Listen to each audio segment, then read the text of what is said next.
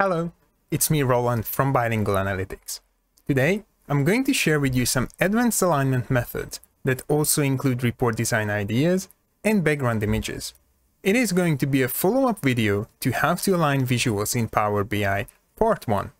If you haven't already checked out the first part, be sure to watch it after this so you can refresh your memory about basic alignment options as well. If you are new to my channel, don't forget to subscribe I post weekly videos about Power BI, data visualization, and some best practices that you can follow to create a great experience for your report consumers. But today's tutorial is all about you, Power BI report creators. More importantly, how to speed up the visual alignment process and how to help your team of report creators with some background options. Yes, I'm going to talk about report backgrounds as I found them to be the perfect way to balance my visual elements on report pages. Think about them as Excel, PowerPoint, or even Word templates. With a single click, you can use a nicely formatted template, or if you are more adventurous, you can fine-tune a template to your likings. And why background? Because that way Power BI only need to render a single image rather than multiple shapes, logos, and so on. So we can easily increase report performance. As I'm going to talk about a visual topic, there is no need to see me talking without showing some cool stuff. So let's jump straight into this. Here we have a plain background with an image of a ruler on the top and the side just to help with the alignment. Nah, just kidding. This would not be any more useful than the built-in gridline options covered in part 1 of the visual alignment or it would even be more difficult to use. But if this is something that tickles your fancy, just do it. You can add a picture like this to your background, set up the report page with visual elements, and then remove the background. A plain white background can provide a clean and elegant look. To be honest, this would be too plain to my taste, so let's skip to the next option. We can spice things up a little to include shapes in our background and maybe a single color as background color. These boxes are going to help us to place visual elements onto our canvas in a perfect alignment. I added red dotted lines here so it's easier to see that these elements are already aligned. We can limit the number of elements we want to add or use and even play with the sizing meaning that if we believe one of the data visualization is more important than the rest of the elements, we can increase the size of that box. Something like this. Just by playing a bit with the placement of these boxes on the background, we can manage to achieve a different storytelling method. Because don't forget, we, report creators, are actually storytellers. We create reports to help our users to understand data and to be able to connect the dots. But what options do we have if we plan to create a company-wide approved list of elements or backgrounds that anyone can use? Something similar to what we have in Word, in Excel and in PowerPoint. We can create background templates with more advanced design elements. An image that not only reflects the company itself, but also creates an aesthetically pleasing report, making it easier for our report users to find those crucial insights. These are some of the background images that I prepared for this tutorial. If you look closely, you will find Bilingual Analytics logo at the top left corner, a Power BI icon at the bottom left corner, along with a black bar for report page title. One more element is common for all of these, and that is the background color or pattern. All these backgrounds can be used to tell a different data story. Let's say that you want your report consumers to focus on a single visual you could use the hero setup. One main visual element to rule them all and to ensure that it is easy to focus on. Little distraction means that your users will be able to find critical insights quicker. Do you want to compare two different sets of data? Let's use the comparison setup. Here, we only have two main visual elements and report users will be able to see differences in a blink of an eye. And if you plan to add more details, let's use the details setup. Here you can place as many as 6 visual elements. This will allow report consumers to get heaps of information and provide some flexibility in the story you could tell. To be honest, I wouldn't add more than 6 visual elements to a report page, as it could be a bit difficult to understand. If you want to learn a bit more about this, check out my video on Power BI Report Design 101. But back to our topic of the day. So now we know that these backgrounds or templates can help report users to understand data quicker and better. But do not underestimate the impact they could have on your report creators. If a company has some pre-approved Power BI backgrounds, report creators no longer need to think about some design aspects of the report.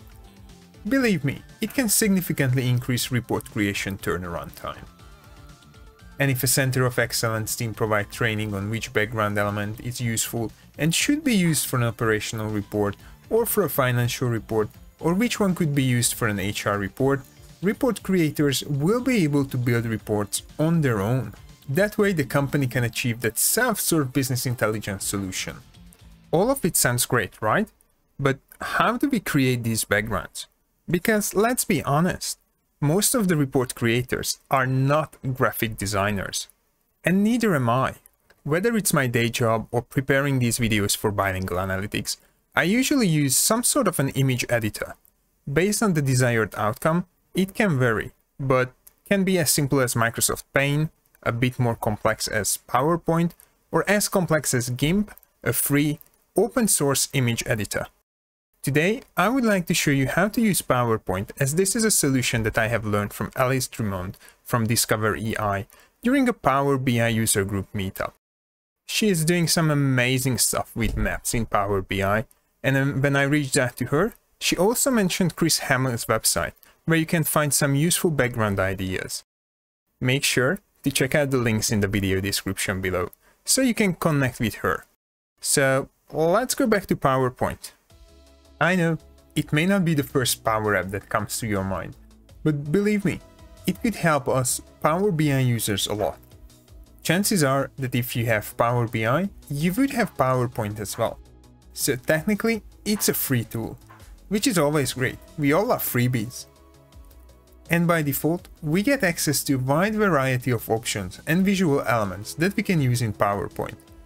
Don't be afraid to test as much as you can. We can start from adjusting background color to our heart content, to adding elements to house our visuals later down the track in Power BI. And if you really want to take it to the next level, you can even add some company approved materials, such as logos, images, and stuff like that. And this is exactly what I have done here. I used Bilingual Analytics logo, Power BI icon, and standard shapes to house the report page title, and of course a background image. On the hero setup, once I added the main box that I plan to use as a backdrop to my visual, I could utilize PowerPoint's visual guide or those red dotted lines or even grid lines and the ruler so we can easily align those other shapes as well. Based on my experience, PowerPoint's visual guide is a bit more advanced as it also provides information about the distribution with those red arrows.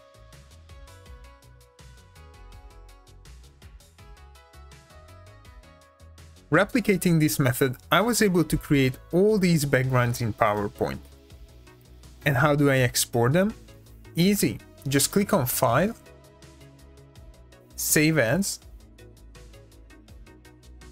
select the folder, and change the type to either JPEG or PNG.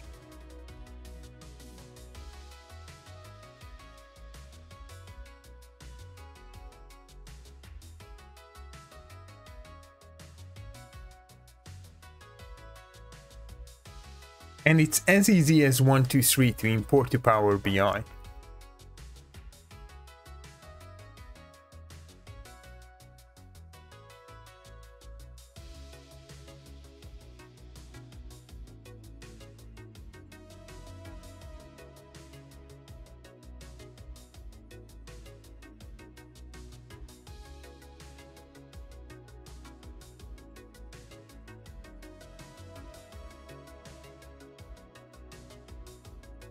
I love it. Wow, I know, it was a lot. Believe me, when I was planning a tutorial on visual alignment, I had no idea that I could talk that much about this topic. But it turns out to be a topic that is not as straightforward as one might think. Therefore, I needed to split the raw video into two parts. Some of you may not think that having a neatly aligned report page could have any impact on report consumers, but try giving your users a report where the visual elements are all over the place. You will see usage not picking up, users leaving the report quickly, and not utilizing data properly. And this is against the whole reason why we create a report. Tell me what you think about these backgrounds in the comment section below. Have you ever used any of these tools to perfect your alignment? Or do you have a company-wide approved schema that you can utilize? If not, maybe it is your time to show off your skills and share the love with others. And make sure that you always try to achieve a report page that is perfectly balanced as all things should be. Thanks for tuning in today. I hope that you enjoyed this video and you learned something new today. Please give this video a thumbs up and subscribe to the channel. Stay tuned for more to come. See ya!